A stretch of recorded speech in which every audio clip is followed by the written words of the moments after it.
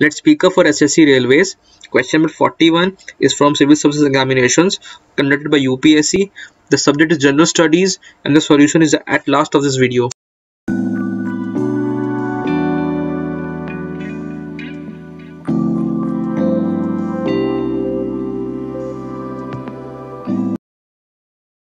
The question goes as a family of two generations consisting of six members P, Q, R, S, T and U has three males and three females.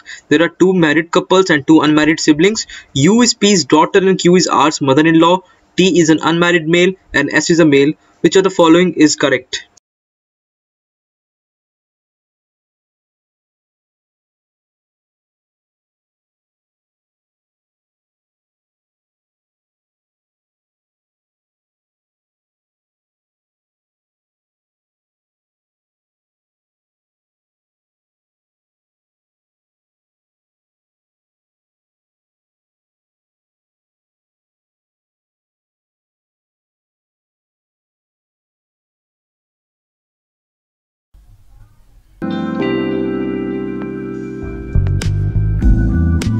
Today's question was taken from Civil Services Examinations Prelims paper of 2020. Some important information from the question is a family of two generations consisting of six members where three are males, three are females, married couples, two unmarried siblings, U is P's daughter, Q is R's mother-in-law, T is an unmarried male, and S is a male.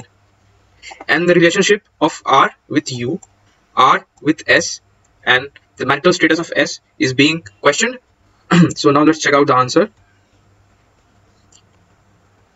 So a family of two generations includes the father and the mother the parents who are the parents the son and the daughter who are the siblings and son's wife or daughter's husband who are siblings-in-law. So the important information I have copied from the question was six members three are males three are females. There are two married couples and there are two unmarried siblings.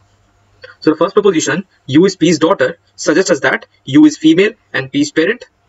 So u is female and P is parent. The gender of P is still not certain.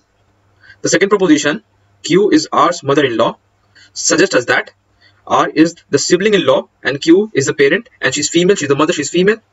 So, so P must be the male parent or the father.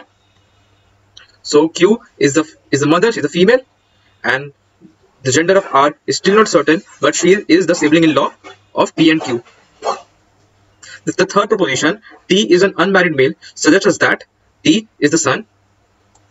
That is, T is a male, is son, and sibling of P and Q. The fourth proposition, S is a male, suggests that S is also a son of P and Q. But the marital status of S is still uncertain. Now since P, P, T and S are all males, then Q, U and R should be females. Therefore, we can conclude from this statement that gender of R should be female and she should be the daughter-in-law for P and Q. So since R is the daughter-in-law for P and Q, she must be a wife of S because T is an unmarried man, is an unmarried son and U is a daughter of P and Q. Therefore, R is the wife of S and it should be the correct answer to the Thank you. This video will be always here. Come back to watch.